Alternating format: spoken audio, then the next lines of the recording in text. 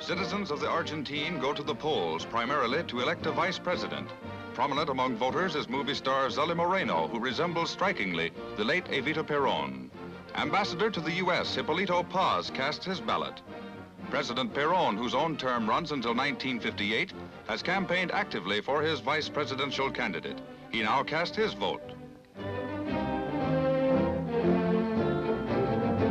Although strongly opposed by radical party members, Peronistas win by a wide margin and the president scores a triumph with the election of Alberto Tessaire as vice president.